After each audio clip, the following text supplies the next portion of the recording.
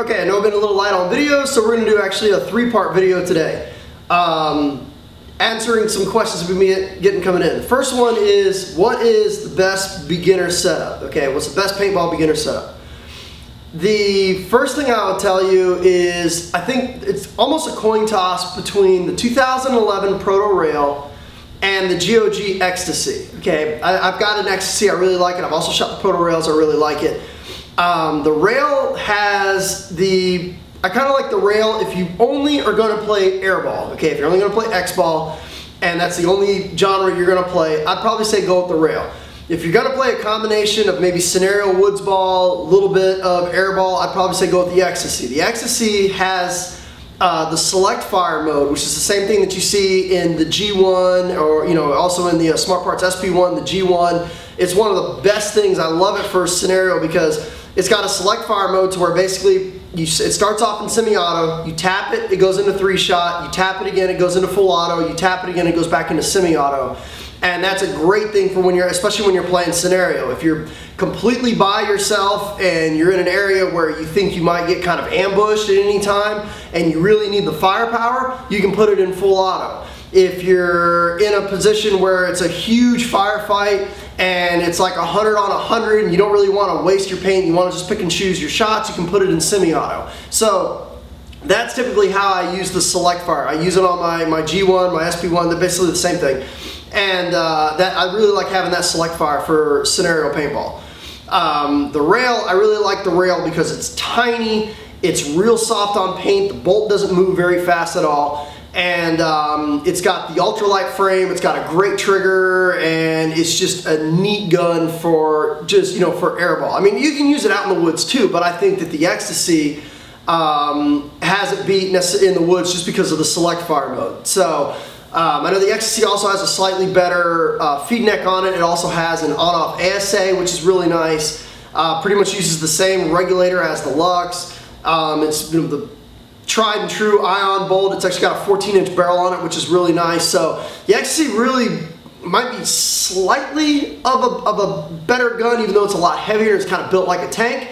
But, you know, if you're going to just play just airball, I think the rail's is the best one to go with. So the, both of those will set you back 250 bucks. Both of them have eyes. Both of them have a regulator.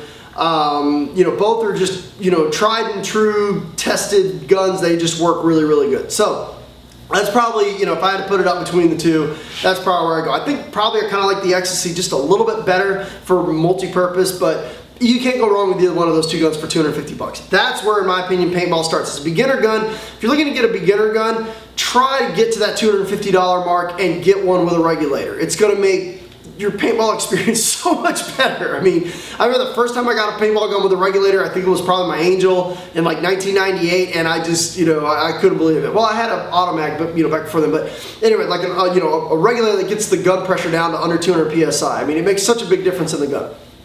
Okay, uh, loaders, budget loader. Probably the best budget loader right now to get for 50 bucks. I know before they had the. Um, the the view loaders, you know, they, they were blowing those out. The you know the velocities they were blowing those out. Those are gone now. But probably the best loader right now, the budget loader to get, is going to be the Tippmann SSL 200. Okay, it's, it feeds about 15 balls per second. It's actually the the loader that they use at the Ultimate Woods Bowling. It's basically kind of like a Pinokio, but it only uses one 9 volt. But it feeds at, you know, 12 and a half, 13 balls per second, no problem at all. It's really lightweight, holds 200 rounds, it's 50 bucks, and it's a steal. It's better than this other trash that's out there. I mean, um, I know Viewloader came out with like the iForce, and then there's these other pieces of shit with the constantly on technology where you just turn it and the thing just keeps going like a power drill. I, no, no thank you. So, um, you know, the, the Tippmann SSL 200, just think of it as a Pinokio that uses one 9 volt and it, it, works great. So, a lot of people use those on their pump guns because they're lightweight, you're only using one 9 volt instead of two, but that's a great one to get for 50 bucks. Um, then of course, you know, then there's my favorite, the Pinokio, if you've got an extra 70, 80 bucks, whatever. Okay, the next thing, tank, okay. Um, the thing with your tank is you got to take a look at your local field and see if, it, if they don't fill to 4,500 PSI, well that kind of, you know, you don't really want to spend, especially as a budget baller, you don't really want to spend that extra money to get a 4,500 PSI tank if they're only filling it to 3,000, okay? There's two tanks that are out there on the market right now that are really nice. Gorilla Air is making a tank right now. It's a 62 3000. It comes pretty much with the Myth G2 Reg. Um, it's got the Pro Burst discs on each side. It's got the small fill nipple, the small gauge, and they're selling those right now for 40 bucks on ANS Gear's website. I'll put the description down below. Um, then of course you've got the Gorilla Air makes a um, makes uh, a 48 3000 which you can pick up for 50 bucks. But I, the 62 cubic inch, if you're only filling to 3000 psi, the 62 cubic inch almost holds as much as a 68 and it's only 40 bucks. So it's a little bit of a longer tank, it's got a little bit of weight to it, but you're gonna have that additional air uh, that you don't get with the 48 cubic inch tank. I mean, you're talking about, you know, you know, almost another 30, 40% more air capacity with that new Gorilla Air 62 3000. And the cool thing about that too is it actually comes in black or it comes in olive, which is kind of cool. So that's probably the tank I would go with. You know, if you can avoid CO2 at all costs, avoid CO2 at all costs. I mean, CO2 is primitive technology. Go with compressed air. Your gun's going to shoot a lot better. So, uh, but the Gorilla Air 62 3000, that's a really cool tank. Um, I got that for a couple friends of mine uh, who are just starting out paintball and they really like it. And it, like I said, I took a look at it. Basically has the Myth G2 reg on there. So it's really nice. Um, okay, so that was that's the first question. Second question is, Mike, I want to, you know, I'm coming down to Florida. I know a lot of people come down to Florida for vacation. Where are some really good places to play paintball in in Tampa? Okay, I'll tell you where we usually play at.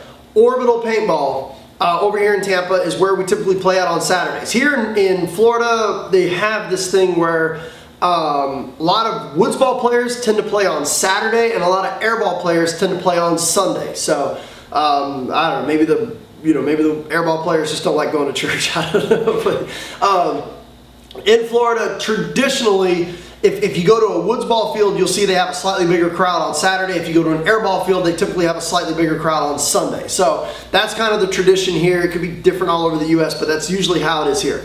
The, the fields that I like to play at, um, uh, Orbital Paintball is where we usually play on Saturdays. It's a, mostly a woods ball field. They don't really have an airball. They got a smaller ball field, but no one really plays there.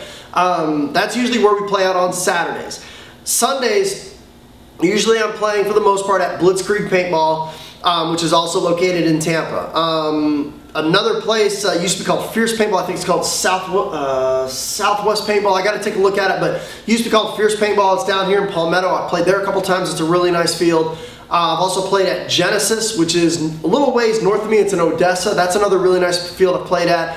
And of course, the mecca of Southeast United States Paintball, which is Central Florida Paintball, which is located in Lakeland. That's another amazing airball field. If you go there on pretty much any Sunday, you're going to see pro players practicing there, uh, damage practices there, especially coming into World Cup, you're going to see a lot of pro teams practicing there because it's like 15 minutes away from where they hold World Cup. But the, the majority of the time where we're, where we're usually playing at is Orbital Paintball on Saturday, Blitzkrieg Paintball on Sunday is send me a PM in the forums or something like that. You want to come out and play with us? Absolutely. So, you know, I get that like, can I come out and play paintball? Yeah, of course. I mean, it's, you know, we're usually out there filming. We're not doing anything special. Out there on the field just slugging it out just like everybody else. You're more than welcome to come out and play with us. And as a matter of fact, if we're doing efficiency test, I can use the help. So, I, you know, I've, I've, pulled the trigger enough times. I don't mind, you know, handing off a uh, super gun to somebody and let them do the efficiency test uh, just so, uh, you know, just less effort on me because I'm lazy. So, Okay, so those are the two major things, um, good beginner setup and also where do we typically play paintball at here in Tampa and what days are we usually playing. So,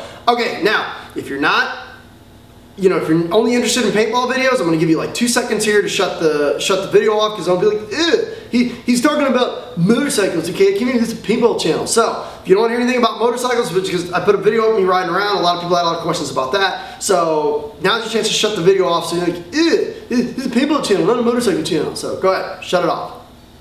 Okay, now, um, question a lot of people said, you know, you know, Mike, Mike, you know, I'm, I'm, interested in riding motorcycles. I want to learn about it and stuff like that. Okay, I've been riding motorcycles for quite a while. I think I got my first bike. I don't know. It's, it's been quite a while. I've had some 750s, thousand, and then my, my personal favorite bike is the the Hayabusa. That's my personal favorite. I never said, oh, this is the, the ZX14 is so much faster. Okay, like it beat it in the quarter mile by like six one thousandths of a second. I don't give a shit. Okay, don't like the way the ZX14 looks. Okay, I had a Hayabusa back many years ago and I really like it. Okay, you want to ride motorcycles? You want to learn how. You know, first thing I would tell you to do is take the safety class, okay? I, I don't know exactly how much the safety class is now. I think Motorcycle Safety Institute, I think it's who it is that puts it on.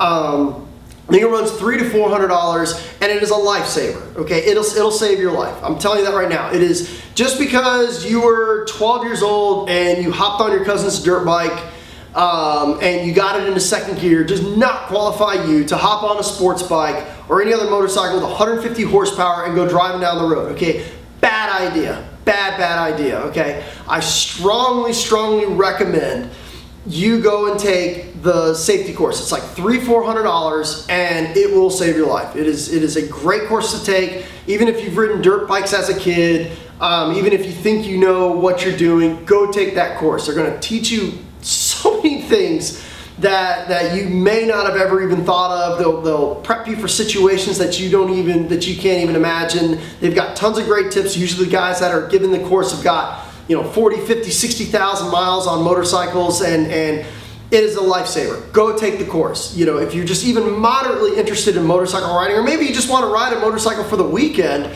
you know, and just, just kind of learn how they operate. Maybe it's been something, you know, I know a lot of people, you know, it's, it's a bucket list thing of mine. I've always wanted to ride a motorcycle. Go take that course. You are going to ride a motorcycle by, by the end of the course. I mean, it's usually the way they did it here in Tampa and it's done differently everywhere else. Um, Thursday night they had a um, Thursday started on Thursday night and they had it was about three to four hours of in-class instruction. Um, then the next thing they had was starting on Saturday. Um, they basically started you pushing the motorcycle around. They said if you run out of gas, you're going to have to know how to push a motorcycle. So, you know, and by Sunday, you know, everybody was changing gears, starting, stopping, turning, figure eights, you name it. Pretty much by the end of Sunday, you knew how to ride a motorcycle. Now, from that motorcycle safety class, for me pretty much never riding a motorcycle, I hopped right on a GSXR 750 and felt perfectly comfortable driving it around. So, you know, little things I had to learn on my own and stuff like that, but I, at that uh, end of the class, I was able to safely operate a motorcycle. Um, the next question I get is, you know, what's a good beginner bike? Should I start out with the GSXR, 6, you know, or the GSXR, a 600 or a 750? Get this question all the time.